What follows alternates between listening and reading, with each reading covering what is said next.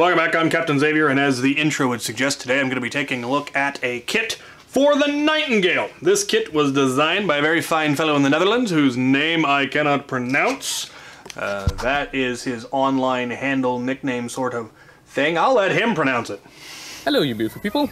I'm Dennis, also known as Rraijjar. Anyway, uh, I will have links to all of his various social medias, um, his YouTube channel, his Etsy, his all that down in the description if you want to get a hold of one of these kits. Um, I believe he just sells the hardware. You have to do your own printing. I could be wrong about that. He might sell printing as well, but I know he sells the hardware kits. Uh, I did the printing on these. He sent me two of the kits, which includes all of the screws, nuts, bolts, springs, and the aluminum bars for the stock. Mine have my logo laser etched in them because he is awesome. And it is a neat little kit. It's a fold over style stock so it remains fairly svelte. It is thoroughly solid. It does lock in place forward and backward, which is pretty neat. Doesn't get in the way of your iron sights when it folds over the top. Pretty snazzy, or at least it doesn't if you have his barrel kit. This barrel that I have on here is also his design. It gives you an extended, this version gives you an extended battery tray, uh, lower rail, upper rail, pretty cool. Opens up in the front using, you know, a standard thumb screw. Pretty nifty. There are different barrel options if you want a medium or long barrel. I went with the really short snub barrel. There is also a version that doesn't have the extended battery tray or lower section if you don't want that. Options abound. It simply attaches using the original uh, rail screws that they have on the top. Uh, other than that, it's not held in. I've got those screws out, so it just slides off the front quite, quite handy, but it locks in place quite nicely with this all holding it uh, in place. And the extended battery section is really, really nice because it makes it much easier to get uh, slightly larger batteries in there without all the issue of cable management. So that is pretty nifty. And we're going to put the stock together because it's a neat little build and I'm looking forward to it. So you do not have to open the blaster to install it. It installs using these three screw mounts and they have um, metal screws or metal threaded areas on the inside. So we're just going to take those three off. Um, well, these three off on this side, these two off on that side, and then it all kind of bolts to that and to itself, and it's really quite nifty. So here we go. Now this kit does not reuse any of the existing hardware. All of the, the original screws are replaced by ones from the kit. There are a bunch of different sizes. There is some hardware that you have to install. One thing I really appreciate about this kit is rather than ever having you thread directly into PLA, there are always nuts or metal thread that you're going into that is reinforced from the far side, so everything is extremely solid. The side ones are the second shortest, it would appear, on that side. On this side, we have one nut that goes on the back one. And I believe we're just going to use the shortest screw. I'm not actually sure what purpose this serves other than making it all look standardized. So that goes in there. And then this comes from the other side. And we use that second shortest one on the last two. I have a feeling we might actually use, maybe it's supposed to use a longer one there. Yeah, yeah, okay. So there we have the bars installed, and you can, the, the stock itself is technically removable if you wanted to run it without and just have the, you know, without that stock on there. It comes off for if you don't want to have the stock on for whatever reason. But let's go ahead and build the stock now. We have this central section here and it's got the two buttons that are going to go into it. And depending on how you print it, you may have to do some some cleanup. I had to do some cleanup to get the, the buttons to actually fit. But spring goes in, button goes in, and you want to make sure it's moving freely and doesn't stick. You then have these plates which go over said button and hold them in place but they should be able to freely pop up through there. And that's what's going to cause the lock. Uh, once again, we're adding our thread. So we're going to need to push those into those two sockets and then push them down in there. Okay. Buttons working properly. Okay. Next, we will install the bars. And again, we've got a pair of thread to put in there.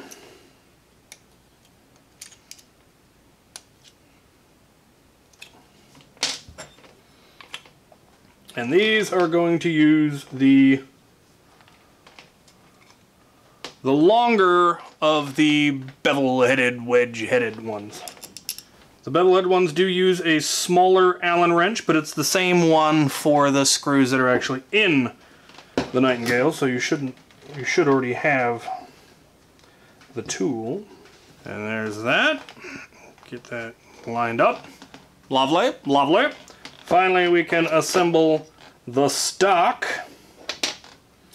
as it were, which has some spots where we need to uh, press in nuts.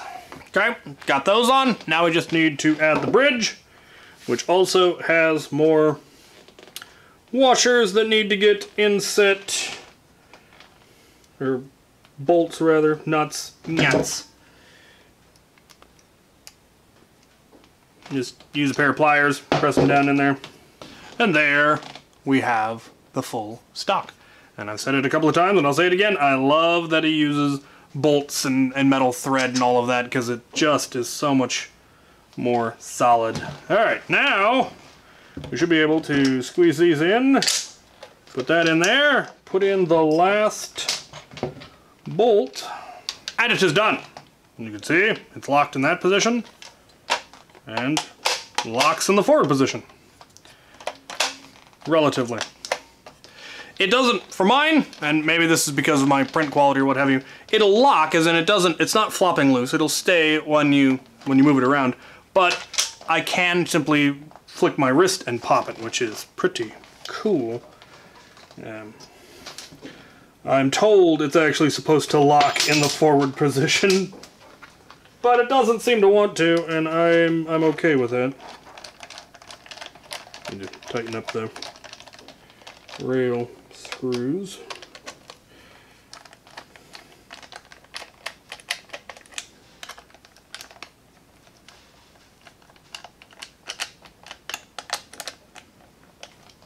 And there we have it. It, it solidly locks this way, but for some reason it doesn't want to fully lock that way on either of mine. I don't know. It's the same on both. They'll stay open, but move all the way. There we go. all right, now that I've got them both, I can go to the range and plink. So, let's plink. I put that one on upside down. There. Now they're both proper and matching.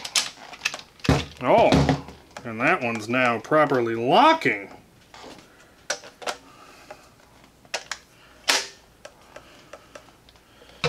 Alright, if we can figure out why this one isn't. Alright, now I got them. Now they're properly fully locked. I uh, had to reprint the buttons. The first ones were a little too large, so I just shrunk them to my slice, slicer by uh, 2%, and now, now they are locking properly. Very nice. Very nice. Alright, now, now I shall go to the range. Right, I'm here on the range. I have one of them that's folded, one of them that's extended, and I'm a plink.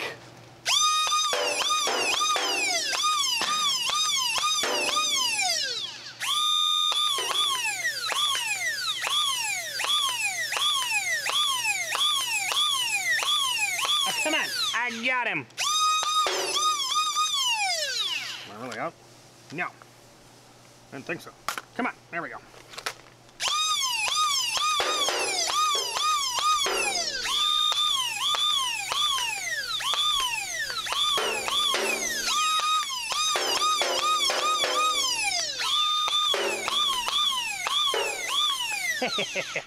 that that is a lot of fun. Uh, you may have noticed I did in fact print and add the fidlock um, on that side. I, I only have the one pair, two pairs for my uh, pew pew, so this was taken off my pew pew. I'm gonna order more from Out of Darts. And uh, yeah, they fit. I'll show you. In fact, you know what? To the shop. Right, my final thoughts. I dig it. Uh, as I said, there's no pistol so svelte that someone won't immediately turn it into a carbine, and this is a really nice way to go about it. Having that fold over the top stock keeps it very compact, relatively speaking, and yet it's it's a really solid design. The way everything prints, uh, you don't have to worry about shear forces. It is all very, very solid, and those aluminum bars, the fact that everything is held in with bolts and nuts rather than just being screwed into PLA or, or, or even ABS, um, is really, really solid, and I, I like it. Um, folds up fairly compact if you compare it to an, an less modified. This one has the, the top rail, but not the extended battery tray barrel. Same, same designer. Um, it's not really that much wider. It's a little bit wider, obviously, because of the side plates. Obviously, it's a little bit longer, but it's still relatively compact. And given that this one now has the holster stuff on it, I can easily use my Pew Pew holsters and they will they will sit on there quite nicely. And uh, these magazines will also fit in the magazines that are on there. So I don't have to build a whole new leg ring for this blaster, even though it will no longer fit in the holsters I originally used for this one, which is just a universal holster. Um, really, really cool. I like I like the design. Um, so the, the folding stock and the, the barrel are all one designer. I believe this part is a different designer, but I don't remember who. It might be the same person. If you're watching, who, who gave me these when I was in the Netherlands? Somebody handed me five of these for me and five for Flux. Uh, they're really cool. They are printed in TPU. They add, I think, six rounds, maybe seven rounds to the capacity. They just slide it. You take the bottom cap off, slide this on. You don't need a new spring or anything. They seem to be working fairly well. I had one jam, but I think that was not from the extension. That was just because the dart got a little bit forward. We just had to tap it to settle it. Um, but that's that's very cool. I like how they made the top of the magazine match that curve right there. It just classy design choices. They got my logo in there because people are awesome. Anyway, um, whoever designed that, if you watch this, or if it is in fact the same person, let me know uh, and let, give me a link and I'll add it. The the trigger guard, if anyone's wondering how I got that svelte trigger guard, that was designed by a member of the auxiliary and they just gave me the file. I don't know if it's a, a, available anywhere online. It might be on Thingiverse. I have no idea. But it's really, really nice because that makes it um, more possible to put into a holster. These things came with a really bulky trigger guard, but then they came with kind of a belt clip holster, but it wasn't great. With that trimmed down version, this one's printed in orange instead of black. Uh, now you can put it into a standard universal holster. I think it'll actually also better fit into a double AK pouch. Options abound. But I really like these kits. I like I like a bulkier design in general. So I, I like the, the weight of it. I like the look of it. I like the functionality of it. Very, very cool. Um, I don't know if I've mentioned this, but you can, in fact, take the stock off very easily just by pushing these buttons in a little bit further, and the whole thing comes off. And now you're back to not having a stock. You just have a little bit extra material from all of that, but simply push the buttons in and lock it on, and uh, you're back in business. So just a really cool, very economic, very simple design, and I like it. So there are my final thoughts. Links will be in the description. Get yourself some.